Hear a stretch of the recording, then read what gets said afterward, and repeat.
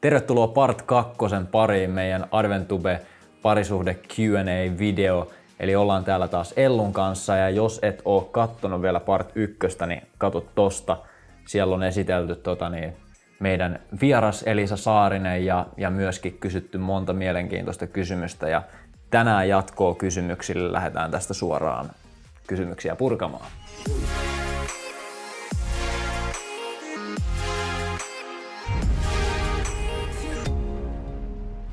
No joo, ero on tietysti aina semmoinen myös isoja tunteita aiheuttava asia ja, ja, ja siinä täytyy käydä monenlaisia tuntemuksia ja ajatuksia läpi varmasti. Eli anna sille prosessille aikaa ja siitä on sitten parempi lähteä uuteen suuntaan. Joo. No näitä seurustelueroja nyt, tota, niin ne on, ne on monille, monille tuttuja, äh, mutta sitten myöskin avioliitoista tulee eroja ja, ja tota, on tullut tämmöinen kysymys mulle, että kun on ollut vaikea avioliitto ja se päättyy eroon, niin miten uskaltaa ajatellekaan uutta parisuhdetta, mitä neuvoja? Eli laajennetaan nyt vähän tätä edellisen kysymyksen näkökulmaa sitten tuonne avioliittoon ja siitä eroamiseen. Joo. No tietenkin tässä mulla kiinnitty kyllä huomio tuohon kysymyksen jatko että miten uskaltaa ajatella sitä uutta parisuhdetta vaikean jälkeen, niin ei sitä tarvikkaan heti ajatella ja ihan hyvä on, ettei ajatteliskaan, että, että tavallaan parantelee sen eron ensin pois kokonaan.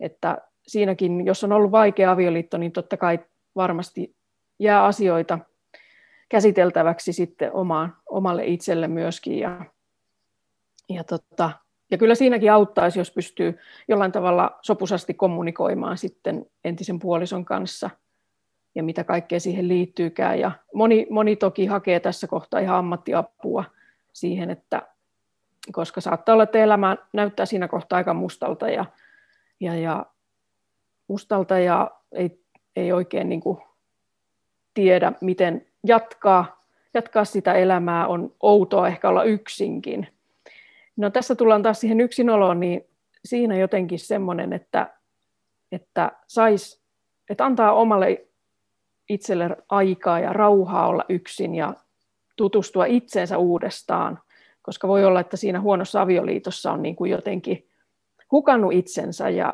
sen oman itsetunnon ja kaiken tämmöisen, niin tavallaan sen rakentaminen on ensisijaisen tärkeää siinä kohtaa, että voi sitten rakentaa sitä hyvää elämää jatkossa joko yksin tai sitten joskus jonkun muun kanssa.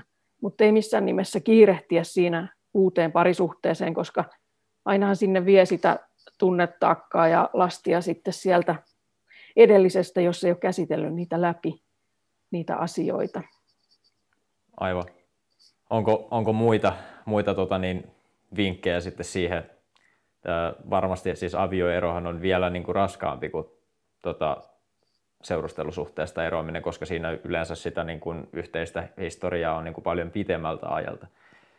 No jotenkin äh, siinä täytyy ehkä keskittyä kanssa niihin asioihin, mikä elämässä on hyvin, koska niitä varmaan jokaiselta jotain löytyy, semmoisia asioita ja vahvistaa, vahvistaa niitä, jotenkin ehkä hakeutua kuitenkin sitten ystävien kanssa yhteen tai voi olla, että sitten pitkässä avioliitossa on, no toivon, että kaikki säilyttävät hyvät ystävyyssuhteet avioliitossa, mutta sitten tämmöisessä erossakin saattaa olla, että ystävätkin jotenkin puolittuu, että jos ne on tullut sitten sen toisen puolison kautta jotenkin ne ystävät, niin saattaa olla, että siinä menettää myöskin niitä ystäviä, niin kuitenkin, että solmii tavallaan semmoisia järkeviä, hyviä ihmissuhteita siinäkin senkin aikana, joihin voi tukeutua ja että löytää jotakin semmoisia asioita elämäänsä, mitkä tuo voimia ja energiaa.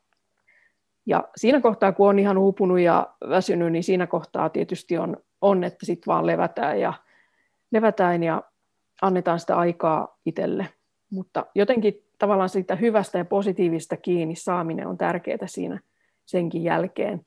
Ja ehkä sä voit miettiä, että mitä mitä haaveita ja unelmia sä oot unohtanut siinä huonon avioliiton, vaikean avioliiton aikana, onko jotain, mihin sä voisit nyt hakeutua johonkin uuden harrastuksen pariin tai jotain, jotain semmoista, että tee itsellesi hyvää siinä kohtaa ja, ja tota, ei siinä oikeastaan muuta. Aika on jälleen aika niin kuin hyvä, hyvä mm. haavojen parantaja siinä. Että... Joo, näin se, näin se onneksi on, että tota, ihmiselle on siunattu tota niin, kyky unohtaa asioita. Ja... Mm. Kun on ollut vaikea avioliitto ja se päättyy eroon, niin miten uskaltaa ajatellakaan uutta parisuhdetta? Mitä neuvoja? Ja tähän lisä, lisäyksiä multa. Et se vaikea avioliitto ja ero herättää varmasti paljon erilaisia tunteita. Siellä voi tulla syvää epäonnistumista, surua, vihaa, katkeruutta, joskus sitä helpotustakin. Jos ajatellaan uutta suhdetta, niin kyllä sille uudelle suhteelle kannattaa antaa mahdollisuus sitten, kun se aika on kypsä, koska siitä voi tulla täysin erilainen ja ihana suhde. Kuitenkin siihen uuden suhteen onnistumiseen tarvitaan jotain ennen kuin kannattaa sellaista mennä aloittamaan. On hyvä oppia tiedostamaan silloinkin, vaikka vastausta ei saa sitä toiselta, että millaiset ongelmat siinä vaikeassa suhteessa vallitsi ja mistä ne ongelmat sinne tuli. Ja ongelmia tulee yleensä tiettekö kolmesta eri suunnasta. Ensimmäinen on se, että ne on suhteen sisäisiä ongelmia. Ne on siellä teidän välillä olevia ongelmia. Ja niitä on esimerkiksi tämmöiset kuin puhumattomuus, mykkäkoulu, riitaisuus, ymmärtämättömyys, uskottomuus, luottamuspula, seksuaalinen haluttomuus ja niin edelleen. Ne on niitä suhteen sisäisiä ongelmia. Että onko se ongelma syntynyt siinä suhteen sisällä. Toinen alue, mistä ne tulee, on suhteen ulkopuolelta tulevat ongelmat. Ne on sitten taas tämmöisiä, että voi liittyä vaikka sukulaisiin tai taloudellisiin ongelmiin, työssä käymiseen, työttömyyteen, lasten haasteisiin, muuttoon, rakentamiseen ja, ja niin edelleen. Ja sitten oikeastaan kolmas osa-alue, mistä ongelmia tulee, on ne henkilökohtaiset omat ongelmat. Eli onko siellä masennusta, psyykkistä sairautta, riippuvuuksia, onko sairaaloista mustasukkaisuutta, väkivaltaa, ikä- ja itsetuntokriisit on sellaisia, tai sitten on jotenkin vaikeus löytää se oma paikka, tai sitten on koettu seksuaalinen hyväksikäyttö menneisyydessä, joka myöskin tuo sinne isoja solmuja. Eli kun pääsee tavallaan niiden juurisyiden äärelle, ja tämä on tärkeää, että tämmöistä työtä myös eron jälkeen, jos ei tavallaan sitä ennen ole sitä työtä tehnyt, niin, niin, niin sen jälkeen toinen tärkeä asia on kysyä itseltään tavallaan, että mitä mä opin tästä kokemuksesta, mitä opin tästä vastoinkäymisestä, ja mitä voisin, miten mä voisin itse toimia toisin uudessa suhteessa. Koska en halua välttämättä niitä samoja virheitä toistaa ja millaisen suhteen mä haluan, millaisia rajoja on tarpeen luoda itselle ja asettaa suojellakseen ikään kuin itseään, että miten mä annan toisen kohdella itseään, niin se on hyvin tärkeää myöskin tiedostaa. Ja näiden asioiden hahmottaminen on joskus yksin tosi vaikeaa, ja silloin on hyvä kääntyä ammattilaisen puoleen tai sparrata asioita jonkun luotettavan ystävän kanssa, että saisi vähän kiinni siitä, mistä ne ongelmat sinne tuli ja mitä ei halua toistaa uudessa suhteessa. Ja siitä on jotenkin, kun pikkasen rakentaa tätä pohjaa sinne, niin voi antaa sille uudelle suhteelle semmoisen mahdollisuuden ja, ja voisi niin kuin ajatella, että on myös hei semmoinen riski, että kaikki käy ihan hyvinkin. Eli tavallaan pelko, pelko on tietysti semmoinen tunne, joka ohjaa meidän valintoja ja tekoja aika paljon. Joskus pelko estää meitä elämästä merkityksellistä elämää, kun me pelätään, mutta täytyy muistaa sekin, että usein pelko on jopa pahempaa kuin todellisuus. Että meidän oma mieli pelosta, pelko asioista paisuu niin isoksi, että, että niillä ei ole välttämättä mitään tekemistä oikeasti sit sen todellisuuden kanssa. Eli semmoisesta pelosta olisi hyvä päästä, uskaltaa päästä irti ja jatkaa ja, ja lähteä toiveikkaasti kohti uutta. Siirrytään tota niin, seuraavaan aihe piiriin ja tota, tämmöinen kysymys kuin, että MP-avoliitto ja, ja mä voisin sanoa, että ehkä, ehkä meidän ei tarvitse kauhean syvälle mennä tähän, koska me ollaan tästä itse asiassa tehty jo yksi video, sen voi katsoa tuosta linkistä ja, ja tota niin, siinä käsiteltiin sitten avoliittoa vähän enemmänkin, puolen tunnin verran, mutta tota, onko sulla jotain niin kuin, kiteytystä niin kuin, sanottavaksi tähän aiheeseen? No joo, jos ihan mielipidepohjalta mennään, niin jotenkin mä aina pohdin itse sitä asiaa, että, että heittäisin tämmöisen kysymyksen henkilölle, joka päättää valita avoliiton, että miksi avoliitto? Miksi, miksi ei avioliitto? Että tavallaan kun osaa itselleen vastata ne kysymykset, koska ei sitä niin kuin kukaan muu voi tulla sulle sanomaan niitä syitä, vaan pohdi ihan itse, että miksi päädyin, miksi päätän, että haluan avoliittoon ja miksi en halua avioliittoon. Että tavallaan ne syyt on hyvä selvittää itselle siinä kohtaa. Ja tota, ehkä tämä liittyy paljon myöskin arvoihin ja semmoista omaa arvopohdintaa kannattaa tehdä kanssa, että mitkä arvot on mulle tärkeitä. Mutta mä itse henkilökohtaisesti jotenkin ää, liputan semmoisen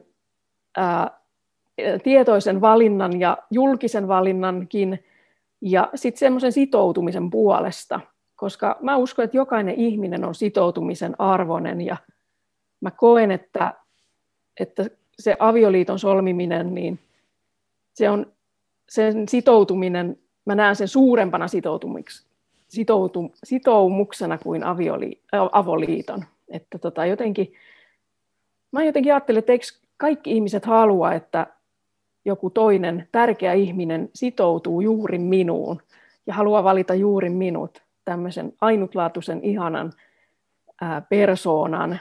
Ja jotenkin mä näen sen, että se avioliitto on niin kuin se, se, joka tarjoaa sitä semmoista Jumalan lahjaa tavallaan enemmän, että halutaan valita se toinen ja näyttää se myös muille, että tämä on mun päätös ja tämän ihmisen mä haluan valita. Niin jotenkin se on mun mielestä semmoinen ihana lahja Jumalalta. Mutta mun tehtävä ei ole kuitenkaan, mä voin kertoa mun mielipiteen ja kokemuksen ja miten mä niin kuin, ymmärrän tämän asian raamatusta, mutta mun tehtävä ei ole kuitenkaan mennä tuomitseen. Se, se on sitten niin kuin ihan meidän isomman kaverin tehtävä tämä, tämä, että mikä on mennyt, mikä on oikea valinta ja mikä ei. Mutta tavallaan, että itse tietää sitten sen syyn, että miksi valitsen näin. Aivan. Aivan. Mutta siirrytään siitä eteenpäin, jos kiinnostaa hirveän paljon avoliitto, niin sitten voi sitä meidän edellistä aihetta käsittelevää videoa käydä kattelemassa. Seuraava kysymys, tämmöinen moniosainen, moniosainen kysymys. Mistä tunnistaa todellisen rakkauden? Kuuluuko jalat alta kokemus tähän? Ja mitä jos ihastuu toisiin toistuvasti ollessaan naimisissa kautta parisuhteessa? No Siinä niin. oli ehkä vähän pari erillistäkin kysymystä. Joo, niin oli. No joo, mistä tunnistaa todellisen rakkauden? No ei varmaan mitään yksilitteistä vastausta ole tässäkään, että sehän riippuu vähän sitten ihmisestä, miten sä koet, minkä, minkälainen olo sulla on sen henkilön kanssa ja miten hän sua kohtelee ja miten sä kohtelet sitä toista. Jotenkin ehkä semmoinen, että mm, kyllä, kyllä yleensä sitten se toinen jollain tavalla tuo sitten sinustakin sen jotenkin ne hyvät puolet esiin. Et siinä varmaan niin kuin tulee semmoinen, että on hyvä olla tuon toisen kanssa, voi olla aivan oma itsensä, että hyväksytään molemmin puolin toinen toisemme, eikä tule semmoista, että no tuo asia ja tuo asia ja tuo asia pitää kyllä ainakin muuttaa tuossa ennen kuin tästä tulee mitään. Et jotenkin se, semmoista arvioimista kannattaa itse tehdä, että, että vaikuttaako tämä parisuhde semmoiselta, mi, mihin niin kuin, minkälaisen suhteen haluaa jatkossakin. Että Joo, ei siis kannata... toi, toi niin kuin, että saa olla oma itsensä, niin se on varmaan ihan äärimmäisen keskeistä, koska mä voisin kuvitella, että se kyllä. kävisi kyllä niin kuin vuosien mittaan aika raskaaksi, jos ne niin kuin pystyisi olemaan oma itsensä siinä niin kuin suhteessa. Niin no, että jos se liittyy just siihen, että jos toinen vaatii niitä muutoksia ja haluaa, että sä oot erilainen, erinäköinen tai mitä tahansa, niin onhan se niin kuin raastavaa, eikä se semmoisessa, niin kuin, semmoista ei kuulu toiselle tehdä, eikä, eikä voi toista muuttaa. Että ihminen voi muuttaa jollain tavalla itsensä, mutta toinen, toinen ei voi niin kuin pakottaa muuttamaan. Et jotenkin semmoista hyvää arviointia kannattaa tehdä, että onko tämä se juttu, tuntuuko tämä siltä, että näillä, näillä kriteereillä tavallaan pystytään jatkaa hamaan tappiin asti, että, että ei odota sitä, että no jos se kuitenkin muuttuisi vaikka vuoden päästä parempaa. Niin, eli, eli jos mä nyt analysoin tuota kysymystä, niin tässä kysyttiin vähän tuohon liittyen, että kuuluuko semmoinen jalat alta kokemus siihen todellisen rakkauden tunnistamiseen, että se olisi tavallaan sellainen, että lävähtäisi kasvoille tälleen näin, että, että boom, tässä, tässähän on, niin toi sun vastaus kuulostaa enemmänkin semmoiselta, että vähän niin kuin pitemmän aikaa niin kuin arvioidaan sitä, ettei niin kuin päivässä, päivässä tota, vielä se varsinainen lopullinen kuva siitä sitten. Joo, ja mä itse asiassa vastasin oikeastaan vasta tuohon, että mistä tunnistaa todellisen rakkauden, että nyt Aivan. periaatteessa tuohon kuuluuko jalatalta kokemus tähän, niin, niin, niin tota, no, kuuluu ja ei kuulu. Se riippuu vähän minkälainen ihminen sä oot, millainen temperamentti sulla on, että jos, jos mietit vaikka itseäsi, että minkälainen sä oot yleensä kiinnostuneena, että jos sä innostut jostain uudesta asiasta, niin näkyykö se koko maailmalle, vai ootko sä hyvin semmoinen niin hiljainen ja tasainen, että kukaan ei välttämättä edes tiedä, että sä oot innostunut, mutta sä oot oikeasti sisälläsi ihan innostunut. Että se riippuu just siitä, että minkälainen persoona sä itse olet.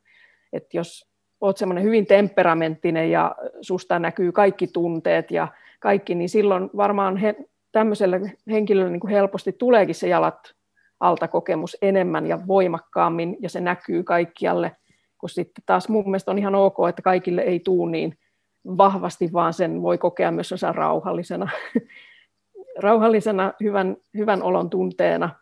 Mutta kyllä sinne tietysti kuuluu ne ihastuksen ja rakastumisen tunteet, että kyllähän ne niin kuin täytyy omassa kehossaan ja sydämessä ja aivoissaan tuntea ne tunteet, vaikka se ei niin kuin olekaan se ulostulo ehkä samanlaista ja semmoista liitävää kuin joillakin taas on. Että en halua, että ne kokee huonommuutta siinä, että jos ei tuukkaan semmoista räjähtävää jalatalta kokemusta. Se on ihan ok sekin, että Näinpä. ei, ei tarvitse tulla. Mm. En tiedä vastasiko mä nyt. Kyllä sä mun mielestä ihan, ihan vastasit ö, taas silleen joo ja ei niin kuin kaikkiin muihinkin kysymyksiin, että et mun mielestä niin kuin, rupesin nyt just tässä kohtaa miettimään, että niin kuin, aika monessa kysymyksessä on tullut esille sitä, että pitää niin kuin, kuunnella sitä omaa itteensä ja minkälainen itse on ja sitten niin kuin sen kautta tavallaan katsoa sitä asiaa, mikä kulloinkin nyt on sitten aiheena, niin mm. tulee vaan niin sellainen olo, että niin kuin semmoinen itsetuntemus ja omaan itseen tutustuminen on niin kuin äärimmäisen tärkeää myöskin näissä niin kuin parisuhdeasioissa. Kyllä, se on tärkeää ja tietenkin kun me nuorena sitten, minkä ikäisenä nyt itse kukin aloittaa seurustelemisen, niin onhan se totta, että tämä prosessi on kesken, kun se on vielä aikuisellakin usein kesken, että ei, sun ei tarvi olla niin kuin valmis, eikä sun tarvi olla, niin kuin, että en halua sellaista painetta antaa, että nyt sun tarvii ensin tehdä tämä itse tutkistelu valmiiksi, vaan ei siinä tule valmiiksi koskaan. Mutta mm. kuitenkin sitä on hyvä laittaa mietintää ja ainahan sitten seurustelusuhteessakin niin toinen hioo sitä toista ja siinä tavallaan tulee semmoista asiat esiin, mikä on ehkä kivuliaita itselle tai kantaa menneisyydestä jotain taakkaa, niin ne saattaa aktivoitua siinä parisuhteessa. Ja, mutta niitä on hyvä siinäkin prosessoida ja oppia itsestään lisää. Et se ei niin kuin estä sitä, tietenkään sitä parisuhdetta tai seurustelusuhdetta, vaikkei itseänsä vielä hyvin tuntiskaan. Mm. Kyllä, kyllä. Elämä on oppimista ihan loppuun asti, eikä kukaan varmasti tule siinä valmiiksi. Mm. Mutta miten sitten tämä, tämä jatkokysymys sitten, että mitäs jos ihastelee kovastikin tota niin, ää, muita ollessaan, ollessaan tota niin, parisuhteessa tai naimisissa?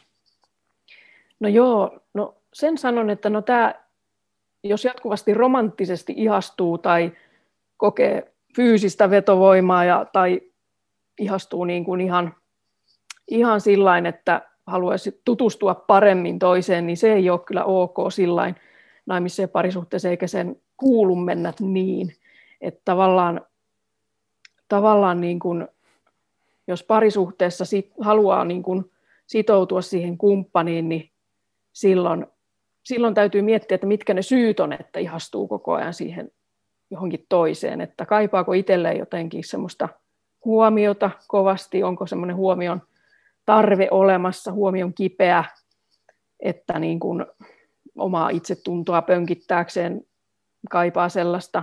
Sitten tietysti voi olla, että siellä parisuhteessa on asioita, jotka ei täytä sitten toisen tarpeita, että niin kuin sit helposti ajatukset ja tunteet ohjautuu katselemaan muita joko tiedostamatta tai ihan tiedosta en.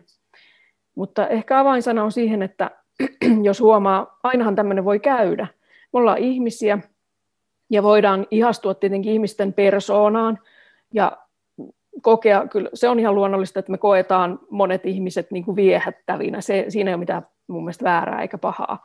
Mutta sitten se, että miten me aletaan ruokkimaan sitä meidän ihastusta, että jos me aletaan ruokkimaan sitä sillä tavalla, että me hakeudutaan sitten aina se henkilön, henkilön niin kuin lähelle ja annetaan hänellekin semmoista huomiota, joka rikkoo tavallaan niitä niin kuin rajo, oman parisuhteen rajoja, että se menee niin kuin semmoiseksi romanttiseksi tai seksuaaliseksi, niin se ei, siinä kohtaa niin kuin, täytyisi tehdä itse valinta. Niin kuin, mä tiedän, että siinä on ne tunteet, ne vie aika voimakkaasti, jos on antanut tunteiden kasvaa ja niitä on ruokkinut, sitä ennen olisi myös hyvä tehdä semmoinen ennakoiva päätös, että en lähde ruokkiin tätä ja nyt etäisyyttä, kun tiedän, että jos tämä on mulle semmoinen vaikea asia, niin päättää sitten, että otan etäisyyttä tähän henkilöön ja en anna signaaleja toiselle, että olisi kiinnostunut, niin se on niin kuin oleellista siinä, että semmoisen valinnan ja päätöksen tekee, tekee, että se oma parisuhde kuitenkin sitten säilyy ykkösenä ja semmoista. Joo, tuli, tuli mieleen tuosta, mitä sanoit, että äh, en ole tietysti mikään niin kuin neurologian asiantuntija, mutta mä oon kuullut joskus, että niin kuin meidän aivoissa, aivoissa tavallaan syntyisi ajatuksia tavallaan kahden erilaisen niin kuin prosessin kautta. Toinen on sellainen tavallaan niin kuin tiedostamaton, sellainen nopeasti reagoiva ää, niin kuin tapa, että e, et esimerkiksi jos me nähdään joku viehättävä henkilö, niin meidän aivoissa niin kuin tulee se niin kuin reaktio, tavallaan se niin kuin välitön semmoinen niin kuin hallitsematon reaktio, että me havaitsemme, että tässä on nyt niin kuin kiinnostavan niin kuin oloinen henkilö. Ja sitten se toinen tapa, miten niitä ajatuksia muodostuu, on sellainen niin kuin hitaampi, tietoisempi, että et, et, et, et tavallaan niin kuin, sitten sen voisi niin kuin rinnastaa vaikka siihen, mitä sanoit, että ruokkimaan niitä, ryhtyy ruokkimaan niitä ajatuksia, niin tavallaan siitä niin kuin tuli semmoinen ajatus, että tavallaan kun me ei voida niin kuin niille meidän nopeasti syntyville tiedostamattomille niin kuin ajatuksille ja havainnoille ja semmoisille niin kuin semmoisille tunteille niin kuin mitään, niin tavallaan niissä ei myöskään ole mitään väärää, että toivottavasti kukaan ei sitten koe niin kuin, tavallaan syyllisyyttä niistä. Että ne on mm. niin kuin erotettava sitten niistä niin kuin tietoisesti, tietoisesti työstetyistä niin kuin ajatuksista ja tunteista. Kyllä, näin on ehdottomasti samaa mieltä on tuossa kyllä, että, että, ja se on luonnollista ja inhimillistä myöskin, myöskin jos näin käy, että se, mutta toi on just se ratkaisevat, mitä sille tekee. Aivan. All right, mennään eteenpäin. Eteenpäin kysymyksissä. Vielä kaksi kysymystä täällä. Toisiksi viimeinen. Täytyykö kaikki jakaa oman puolison kautta kumppanin kanssa vai voiko olla salaisuuksia, joista toinen ei tiedä? Joo, tota, jos asiat liittyy parisuhteeseen, ja jollain tavalla vaikuttaisi siihen parisuhteeseen tai sen ö, oman ja kumppanin hyvinvointiin, niin kyllä mä olen sitä mieltä, että kyllä silloin on hyvä jakaa asioita ja on muutenkin hyvä olla tietenkin hir- tosi rehellinen, rehellinen vaikka omasta menneisyydestään niistä asioista, jotka voi vaikuttaa sitten siihen nykyiseen parisuhteeseen.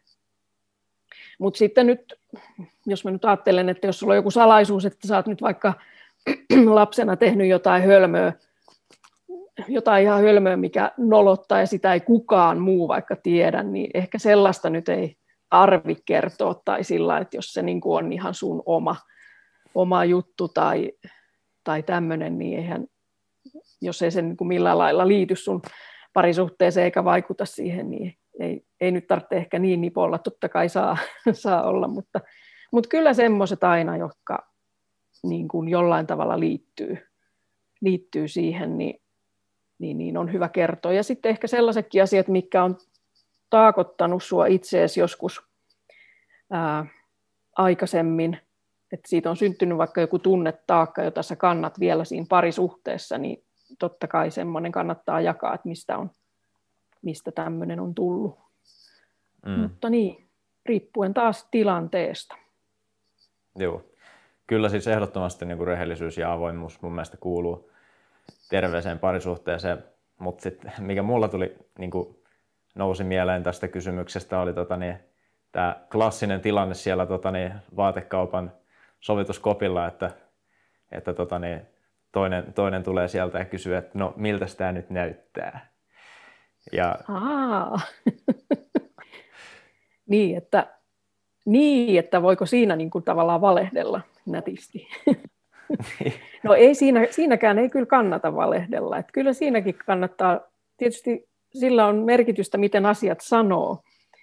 Että, mutta jos, jos se nyt omasta mielestä on niin kuin ihan niin kuin, ei tuo parasta kantajassaan esille, niin kyllähän se voi niin kuin nätisti sanoa, että ei ole mumma kuin. Tietysti siinä voi olla sitten niin, että toinen tykkää siitä ihan hirveästi ja toinen ei tykkää, niin tietenkin sitten on itsellä yleensä valta päättää, mitä pitää päällään, mutta, mutta tota, ellei se sitten ole jotenkin loukkaava asuu joku tosi alaston juttu, että niin kuin se loukkaa toista niin kuin siinä mielessä, että paljastaa liikaa tai jotain, niin ehkä siinä kannattaa ainakin sanoa se. Mutta, tota, mm. mutta ei siinäkään kannata nyt lähteä ainakaan valehtelemaan välttämättä ihan sillain kirkkain silmin. Että Joo, kyllä. kyllä. Miksei voi kertoa totuutta.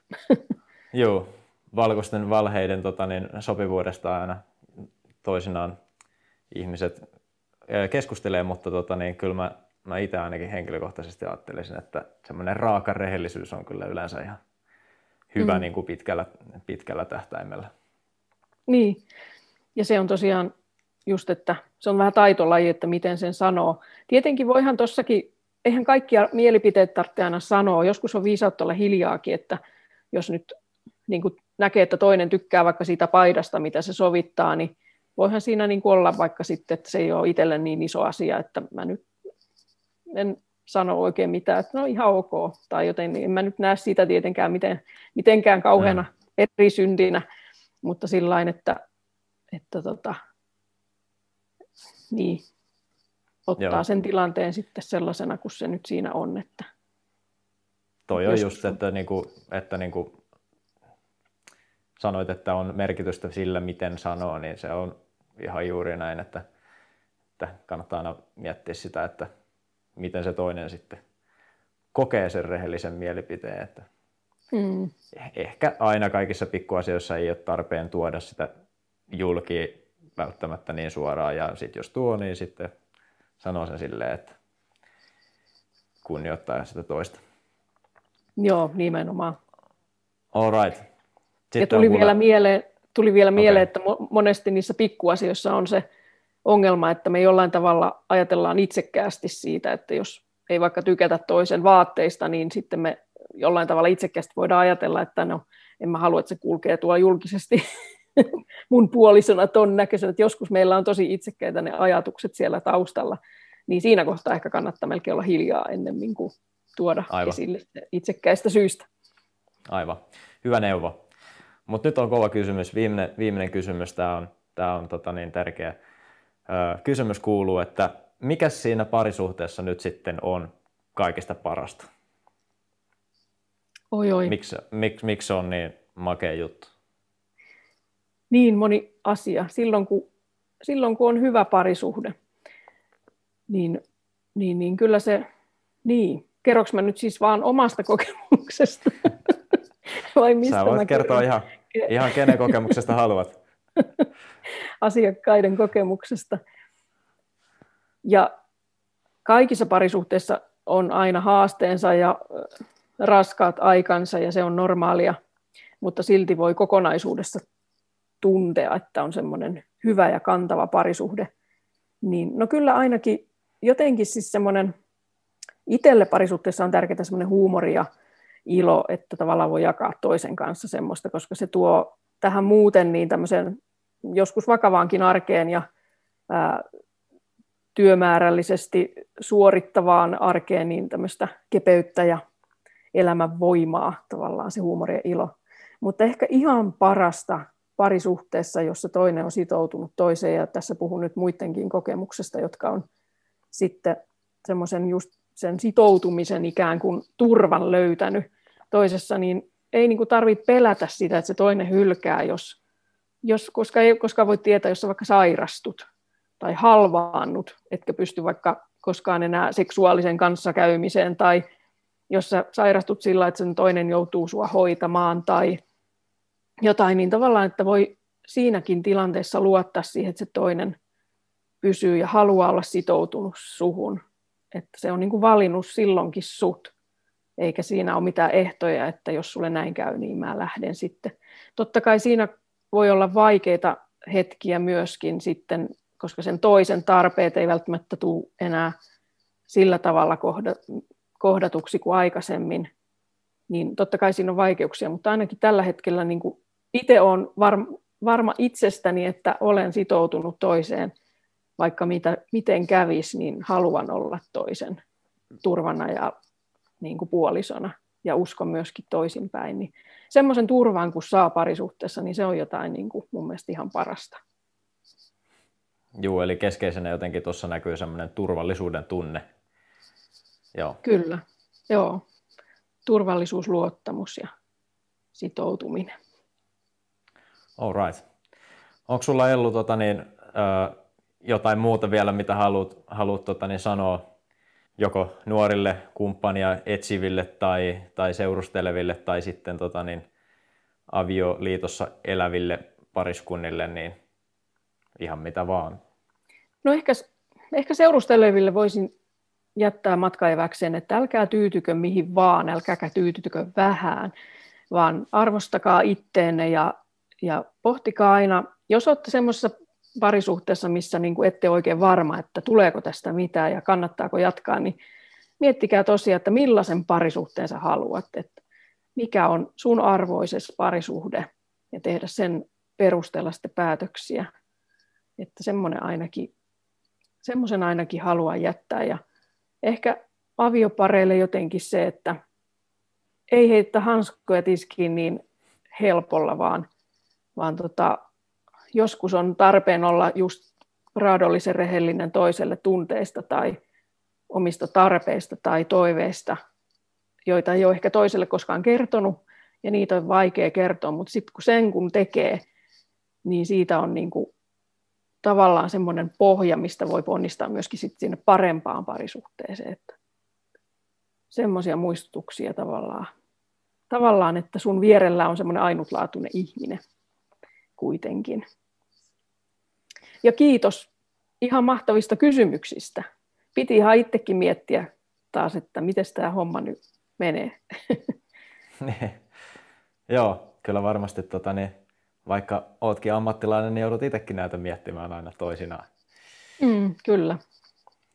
Mutta tota, niin, kiitos Ello tosi paljon. Tota, niin, paljon. Paljon saatu nyt matkaeväitä tota niin, parisuhteiden eri vaiheissa oleville ja tota niin, omasta oli, oli mielenkiintoinen ja miellyttävä keskusteluhetki.